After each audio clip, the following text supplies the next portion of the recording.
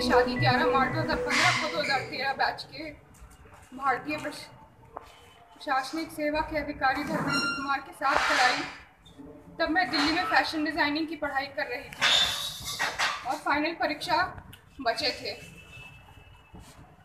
यह arrange marriage थी और दोनों पक्षों की सहमति से हुई थी। बेटी की खुशी के लिए धर्मेंद्र कुमार के घर वालों ने जो जो मांगा मेरे माता पिता ने, शादी वक्त उन्हें दिया। लेकिन शादी के तुरंत बाद से ही मेरे पति धर्मेंद्र कुमार का व्यवहार बदल गया। उनके परिवार वालों ने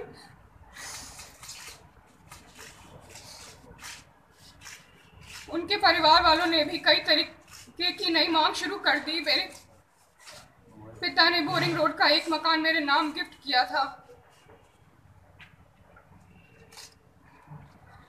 धर्मेंद्र और उनके परिवार वाले चाहते थे कि ये मकान मैं तुरंत उनके नाम ट्रांसफ़र कर दूँ। जब मैंने थोड़ा वक्त देने को कहा तो मुझे टॉर्चर किया जाने लगा। वे देर रात को मुझे अकेले छोड़कर कहीं चले जाया करते थे। तब मुझे लगता था कि सरकारी काम में जाते होंगे। कुछ सरकारी काम भी ज़रूर रहे होंगे।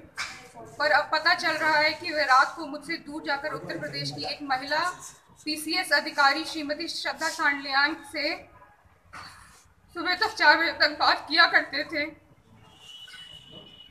जिनसे उनकी पहचान आई एस परीक्षा की तैयारी के दौरान दिल्ली में पतंजलि आई एस अकेडमी में हुई थी। श्रीमती श्रद्धा सांडलियान, इन दिनों यूपी के हरदोई ज़िले की शाहना में एडीएम पद पर तैनात है। श्रीमती श्रद्धा सांडलियान जलाई हुई, महिला है।